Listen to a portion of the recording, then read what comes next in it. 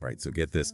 Um, I've been going through a ton of reactions to this one anime episode, and it's like everyone just went crazy for this character, Angelica. Oh, yeah. It's kind of like looking into the heart of fandom, right? I mean, these reactions, they're way more than just reviews. It's like this outpouring of pure emotion.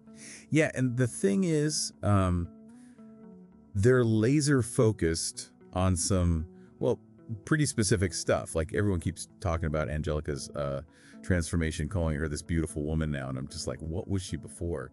Some kind of scary monster. Well, the word uh, skeleton pops up a lot, so maybe not exactly a, a monster, but uh, definitely a big change. You know, transformations in anime, they're they're rarely just about looks, right? It's more about showing some deeper change, like you know, over, overcoming some big obstacle. Okay, so are we talking like literally shedding a, a skeleton body, or more like getting rid of emotional baggage? Maybe a little bit of both. Think about it. They're, you know, celebrating her newfound beauty, but they're also excited about her being able to, you know, connect with people, make friends, even get invited to take a bath. Hold on, a bath. That seems like a, a pretty specific thing to be so excited about. But think about what it what it symbolizes, right? A bath, it's cleansing, it's a fresh start. It's also kind of a vulnerable moment which lets the viewers see her in a in a normal everyday setting. And that kind of intimacy it builds a connection. Okay, so it's not just about a, a makeover. It's about Angelica re-entering the world, yeah? Yeah. Washed clean of, of whatever she went through before. Oh, and get this. They're all going on about her new acquaintances and even a wife.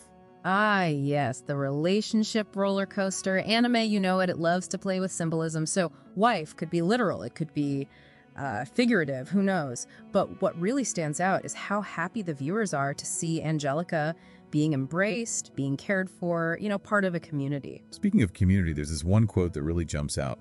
I don't know how this one-woman isekai of all things manages to have such a large female cast, but it still managed to be so enjoyable and pleasant to watch. Now that that's really interesting. They're pointing out a possible um, subversion of the the genre's expectations. Isekai, for for those who don't know, is where a character gets you know transported to another world. Usually, it's a lone hero's journey, but here we've got this supportive female community. You know, th that's refreshing for a lot of viewers, especially those who are uh, tired of the lone wolf trope. Yeah, it, it really makes you think about what what draws people into certain stories. right? Yeah. I mean, we're talking about a, a bath scene here, not exactly um, epic adventures, and and yet it's hitting these viewers, you know, right in the field. Right, right. It's it's the, because it, it taps into something universal, you know, that longing for a fresh start, for mm-hmm. for kindness and, and acceptance. Seeing Angelica experience that, even in in this fantasy world, it resonates deeply with people. You know, it's it's like a, a little dose of of emotional wish fulfillment. And you know what else is interesting? How how they go on and on about Angelica barely speaking, like they're more invested because of it. Yeah, yeah, that that says a lot about the the power of visual storytelling in anime. They're Yeah. they're captivated by her expressions, her her gestures, the the way she conveys emotion without without words. It's it's like her silence makes her eventual spoken words that that much more powerful. Yeah, yeah. There, there's this one line where a viewer says, "Whatever the case may be, I don't care how uncomfortable it would be because I think it's incredibly sweet and simply a part of her now that once she does bring out words, it must be something that is really significant. It's it's like they're they're hanging on to her every unspoken thought. Exactly. It builds anticipation, you know, Yeah. making every interaction, every every little gesture pregnant with with meaning. This this is where anime truly shines, you know, it's about those subtle visual cues that draw you, you know, deeper into the character's world. Okay, but we we can't ignore the the elephant in the room, or should I say the the skeleton in the bathhouse. Haruka keeps keeps popping up in these reactions. Who who is this character and and what's their deal with Angelica?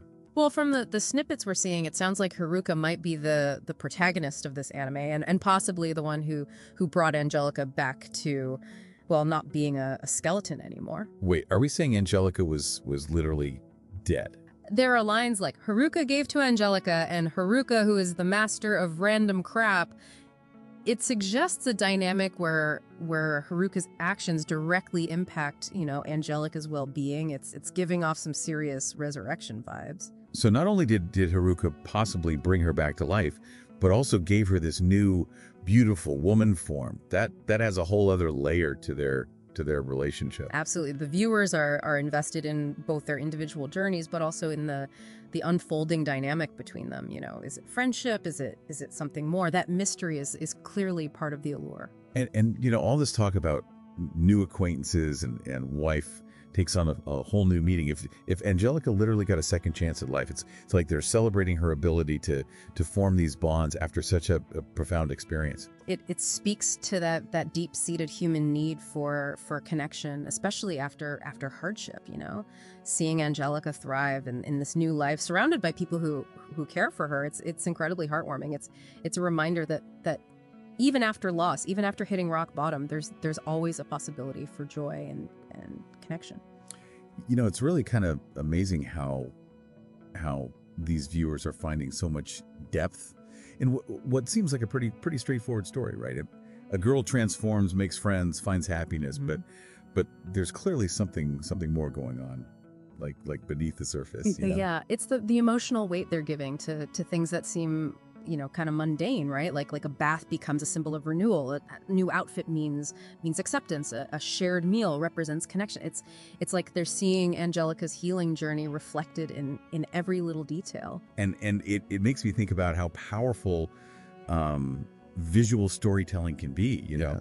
Especially in in anime right? They're they're captivated by Angelica's nonverbal communication, like like her ah. silence, is is actually saying a lot. You know what I mean? Yeah, yeah. It's it's about those those subtle glances, you know, those those hes hesitant touches, the the way the way her expressions change.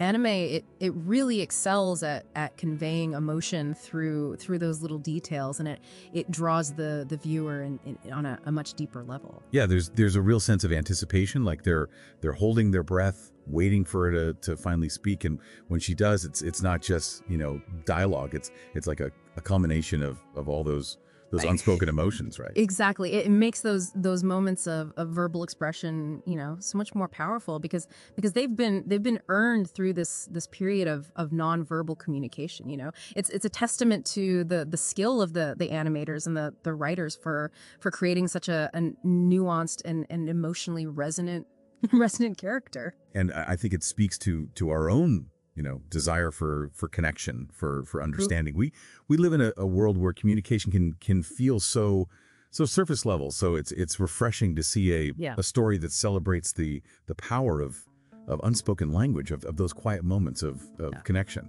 Yeah it's it's a, a reminder that that sometimes the the most profound communication it, it happens without without words. It's it's about empathy intuition that that unspoken understanding that can can form between between two people. And and in in angelica's case it's it's clear that that those those nonverbal connections are are paving the way for for deeper more more meaningful relationships so, so as we wrap up this deep dive, what's what's the biggest takeaway for, for our listener? What what can they they glean from this this hive mind of, of anime enthusiasts? I, I think it's it's a, a reminder that that even in in a, a, fantastical world, the the things that that truly resonate are are the the human elements. You know, the yes. the desire for for connection, the the joy of, of acceptance, the the power of, of kindness, and, and sometimes the the simplest stories told told with with heart and and nuance are, are the ones that that stay with us. You know, long long after the credits roll. Beautifully put. Yeah. And and who knows, maybe maybe this deep dive will will inspire our